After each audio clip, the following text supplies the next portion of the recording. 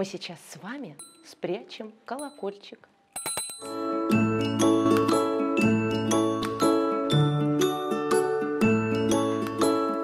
Посмотрите, кто у нас потерялся. Кто потерялся, ребята? Поэтому я пришла к вам за помощью. Откуда он здесь? Чей он этот колокольчик? Как вы думаете? Наш? Наш это чей? Откуда он? Из Из музея колокольчиков, а был у нас такой? А, нет. Такого у нас еще не было. А чей еще он может а мог быть? кто-то принести и не показать.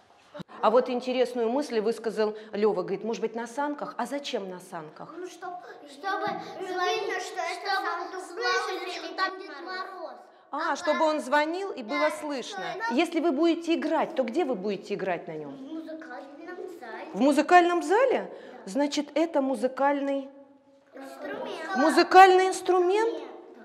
Но Деда Мороза мы сейчас не найдем. А вот спуститься в музыкальный зал давайте попробуем.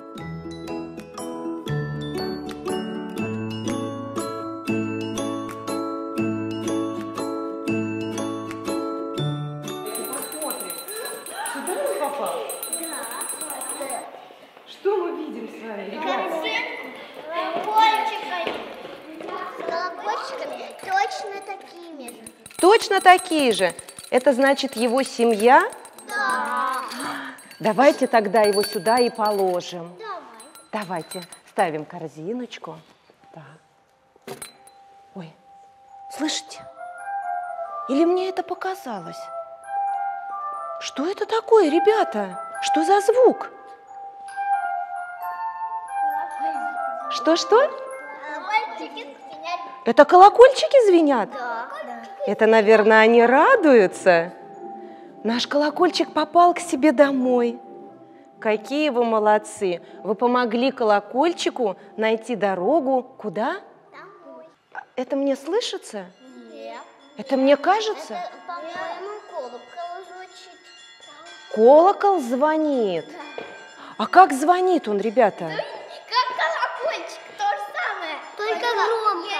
Только громко. А этот звон какой, ребята, по характеру? например, царь.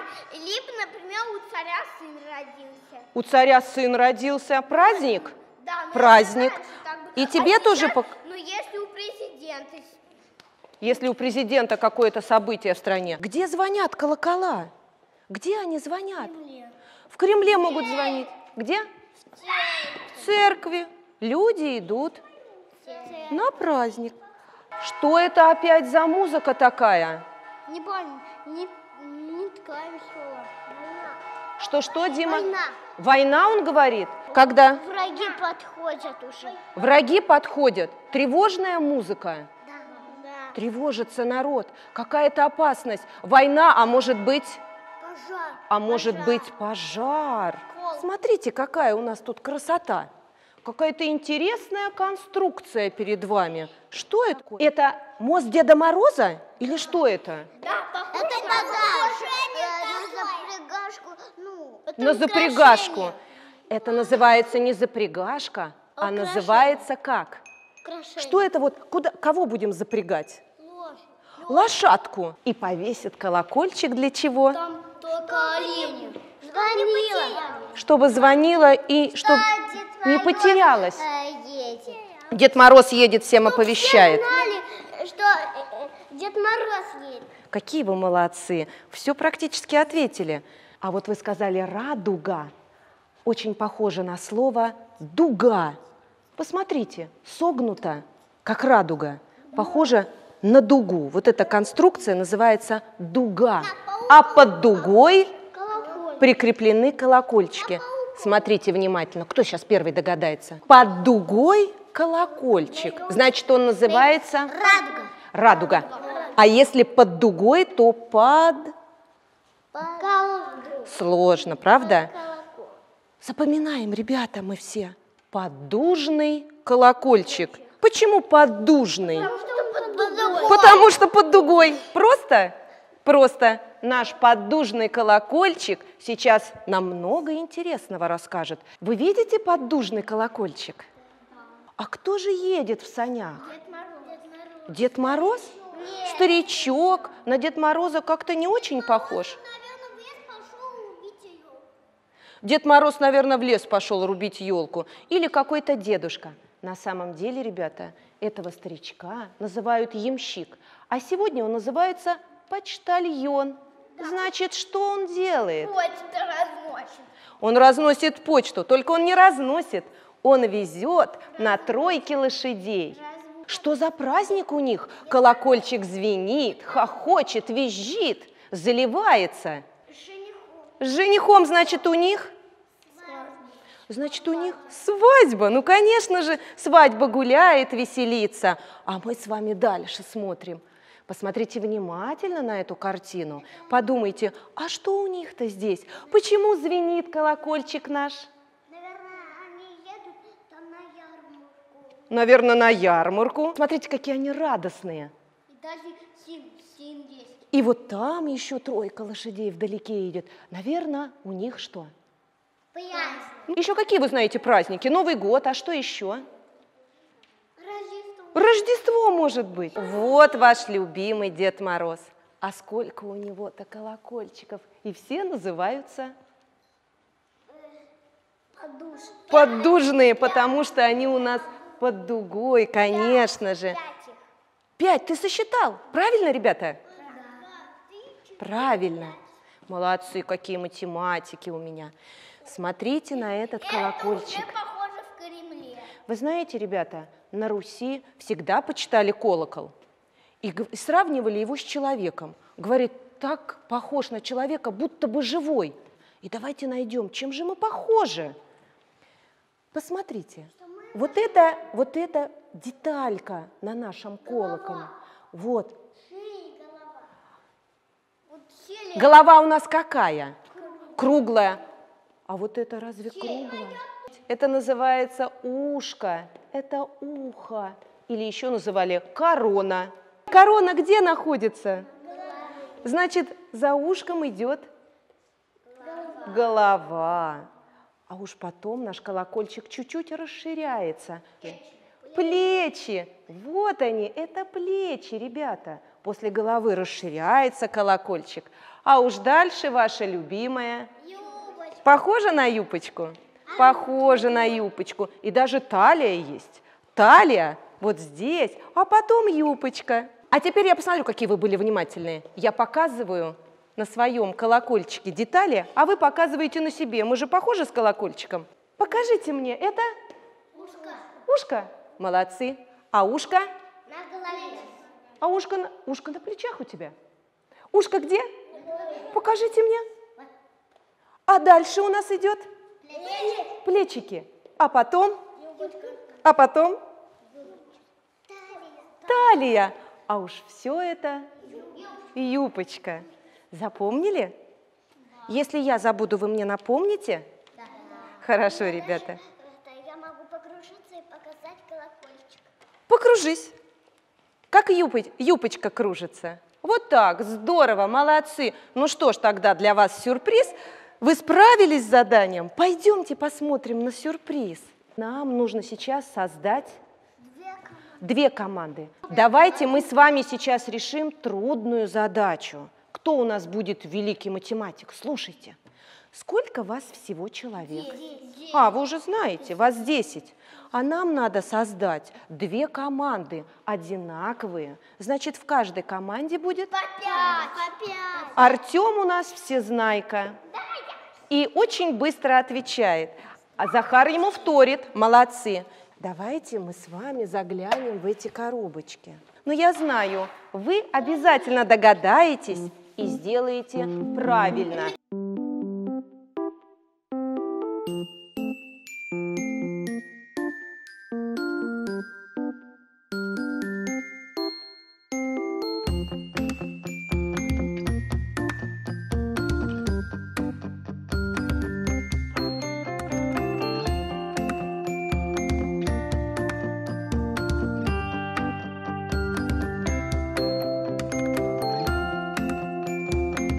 Давайте мы друг другу покажем, что у вас получилось. Отходите вот чуть-чуть, чуть-чуть подальше от столов. У нас команда самая первая собрала колокол, у них он один. Ну зато какой? Как называется? Колокол. И даже знаете, где находится? Да, в Кремле. В Кремле. Это царь... А почему его так называют царь Потому колокол? что он самый большой раньше. Он действительно самый большой колокол. сейчас, наверное, А посмотрите, вторая команда что собрала? Два колка, один маленький, другой большой. У них два колокола, один маленький, другой большой. Где мы это можем увидеть?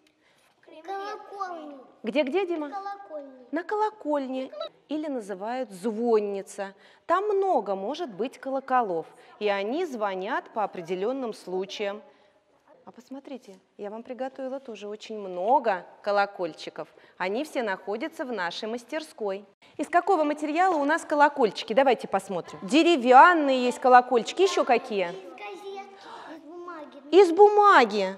Папье-маше называется, бумажный колокольчик. Еще? Еще из чего есть колокольчики, ребята? Артем, а у тебя из чего колокольчик? Да. Просто колокольчик. Ни из чего? Какой материал? Ну, из киндер-сюрприз. Из киндера сюрприза. А материал-то какой? Из чего он сделан? Из пластика.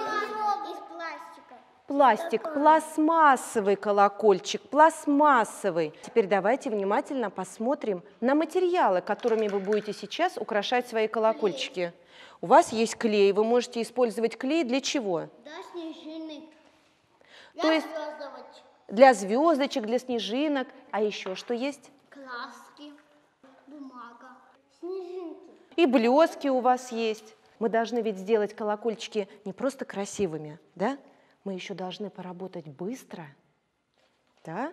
Чтобы потом и поиграть на наших колокольчиках.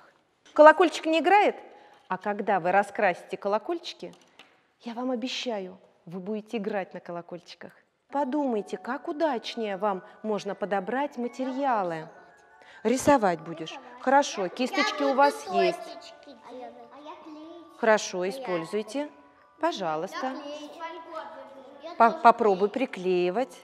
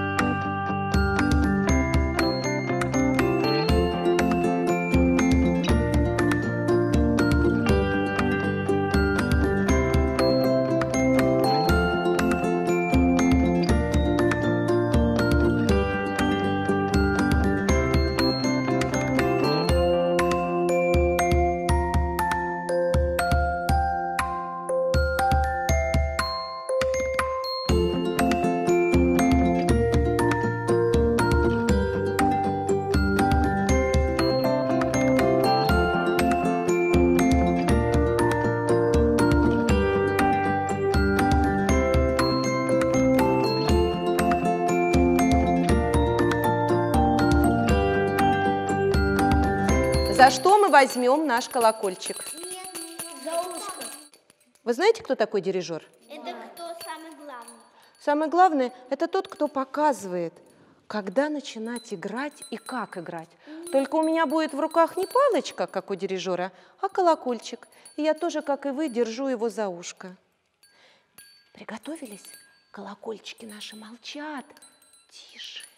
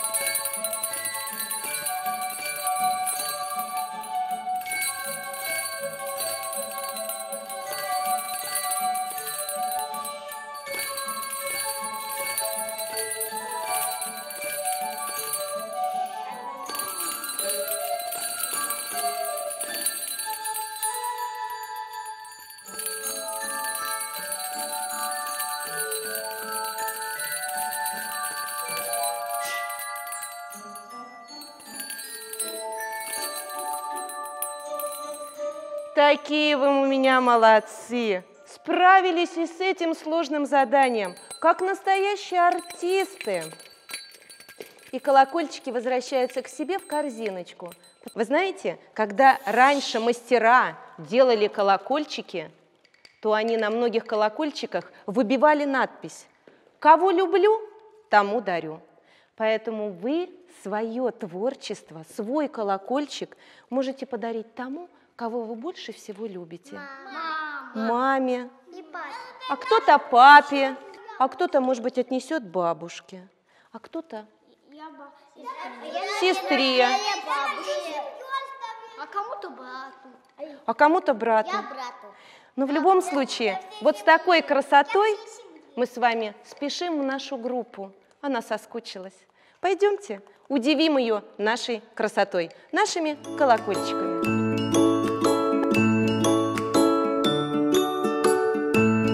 Добрый день. Представляю вашему вниманию самоанализ интегрированного занятия с детьми старшего дошкольного возраста по теме «Мой веселый колокольчик». Цели, задачи и содержание данного педагогического мероприятия соответствуют программе и выстраивались с учетом возрастных, психологических и индивидуальных особенностей детей дошкольного возраста. Цели занятия – продолжить знакомить с историей развития колоколов в России, расширять представления о видах колоколов и о музыкальном звоне. Заявленная тема была предопределена долгосрочным исследовательски-творческим проектом под названием «Колокольчики-колокола», что предполагает систематизированную работу ранее в этом направлении. На представленном занятии решались следующие задачи. Познакомить с новым видом колокольчиков, формировать представление о частях колокола, побуждать и стимулировать познавательную деятельность с помощью игровых приемов и ситуаций, развивать наблюдательность, способности замечать характерные особенности предметов, формировать умение сравнивать и анализировать, развивать навыки исследовательской деятельности, развивать творческое воображение, умение работать самостоятельно по заданной теме, обогащать словарный запас новыми понятиями, воспитывать позитивное, ценностное отношение к историческому прошлому своей страны и ее традициям, воспитывать интерес к музыкально-художественной деятельности.